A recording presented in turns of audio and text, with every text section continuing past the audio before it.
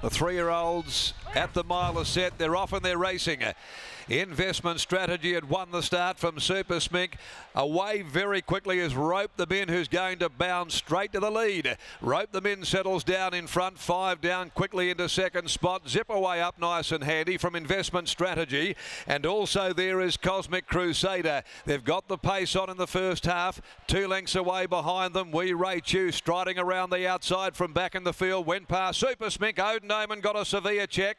Threw its head high into the air. Back underneath of Super Smink, a length and a half away. Blue Lagoon, a lot of good men. And then Autumn Rebel and Massamune, the tail end of Big Player. Along the riverside, they've got 900 metres to go on the Guineas and five down. Cross the minute, gone to the lead. Five down by a little more than a length. Up running second is Zipaway. They're being followed by on the outside. Rope them in in third spot. Investment strategy is next, tucked up on the rail. We you covering ground. A bit more than a length to Cosmic Crusader. Over on the outside, Super Smink. There's the favourite going around them now. The filly is following one of the roughies. Over on the rails to Odin Omen, who had the wind taken out of its sails early. Blue Lagoon followed further back. Autumn Rebel and also Massamune. Big player last of all as they set sail for the judge. Five down led Zipaway. Quickly on terms with it though, headed it off. And Stevie Parnham went for home. It kicked away on Zipaway investment strategy. Super Smink coming down the outskirts of the track. It's Zipaway with 100 to go. Super Smink. A lot of good men coming from the clouds. Zipaway's in front. Super Smink can't get to Zipaway, and Zipaway has won it. Zipaway, like father, like son, wins the Guineas from Super Smink or a lot of good men charging. Right behind them came, next of all, Cosmic Crusader, Blue Lagoon, and Autumn Rebel. Investment strategy, Odin Omen. Next time we rate you, then rope them in, followed further back by Massamune. Five down, and Big Player is amongst the last home. Zipaway. Emulates the deeds of Isaiah playing God. Neville and Stephen Parnham have won the Guineas yet again. It's four Guineas winning rides for Stevie Parnham and Zipaway. Settling right over the speed, holding on from a lot of good men getting second just in front of Super Smink. Blue Lagoon will be fourth. The interim placings are 4 1 13 and 5. 4 1 13 5, but Zipaway. The playing God three year old, his sire, of course, won this race back in 2010. An outstanding Group 1 horse, who, of course, has gone on now to become the leading sire in WA.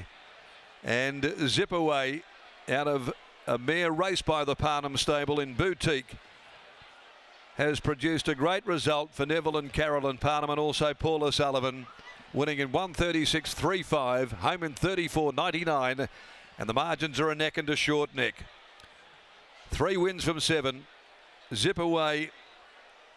Will be down there with Neville Parnham shortly. Would not have heard anyone say that he couldn't win the race with Zipaway in this 2023 edition. Steve Parnham delivers with a superb ride. Rode desperately, rode like a man inspired. A lot of good men charging late. Paul Harvey in second placing and Super Smink just peaking on her run late. Third home from five, Blue Lagoon. Fabulous finish. Let's go to Lockie Taylor about to join us in she the yard. Did, Parnham was supremely confident like about Zipaway's uh, chances it, today. Uh, settled about one out, two back, one out, three back early. When the speed slackened, he popped her out, three deep cover, tracked into the race it like the winner. And at the top of the straight, I thought it was all over. But she disappeared to peak at around the 200 and Zipaway, who just really relished the step up in distance, far too strong. She won first up at Belmont, second up she went to Ascot, and then they Those stepped her up to next. stakes level 17, again. 18 and, and 19 are the scratchings. At Group 1 level, we'll see them go at 9 after 6 as Lockie now joins connections down there in the Neville Parnham just over there. Harvey have combined to win the Guineas a couple of times. They were just a little bit short here, and Super Smink was back in third spot. Let's go to the man himself, Neville Parnham, who's now with Lockie. Thanks, Gav. Thanks, Darren. I'm now catching up with winning trainer Neville Parnham. I've never seen scenes like it after the Faritha. Neville absolutely declared this horse, and he was very, very right. Neville, what gave you such great confidence that this horse would be winning today? Because I've never seen you like that post-race, and you doubled down on Tuesday afternoon as well. Uh, I was very confident he'd win, and uh, uh, I, I think Super Smink is a is a top horse, and obviously Keshi Boone's very good too. But I really thought he would beat them both. Uh, uh, behind the scenes, he really he works like a real good horse, and uh, we've done a, you know, we've sort of looked after him from his two-year-old days. I purposely didn't bring him back in the in the winter, but because um, I just thought he was a, a, perfect horse to head to the Guineas and. And it's, uh, it's come off, yeah. You have such a good record in this race. You even won the race with his stallion in Playing God. What similarities does he have with a horse that you know so well? Uh, look, they're both very athletic horses, him and Playing God. Obviously, this guy's a gelding, so uh, Playing God held a bit more condition, but uh, he's been. Uh, I, I, raced the mare. Uh, I bred this horse myself. The mare was uh, Boutique. She's a, she's actually a half to Red Can Man and um, Quilesta.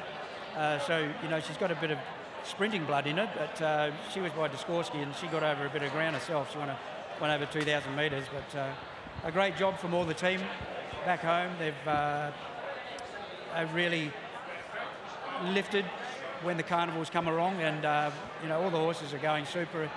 So a big thank you to the team led by Mark Sestich.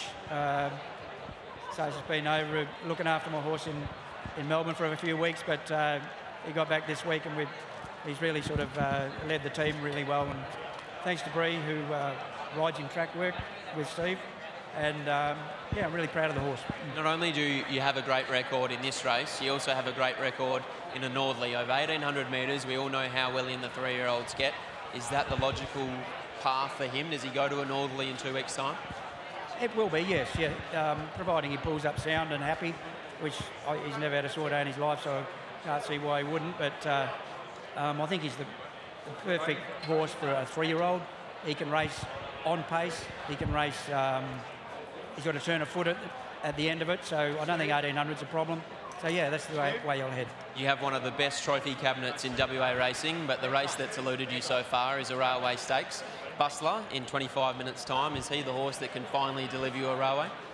Look, I think he's a great chance, yeah. I wouldn't necessarily say he's my best, but uh, um, I thought Tazi a few years back was my best chance, and he ran second to Sniper's Bullets, but uh, he's done everything right. He's sound as a bell, and he's working the pace down, so um, he'll be right in it. Congratulations, Neville, and hopefully we're chatting soon. Thank you. There's Neville Parnham, and here's his son, Steve. Uh, for his fourth WA Guineas win as well, Steve. Wow, uh, what a horse, what a uh, combination there as well with your old man. But talk us through the run in transit, because I don't know if that was plan A, B, or C, how the race unfolded.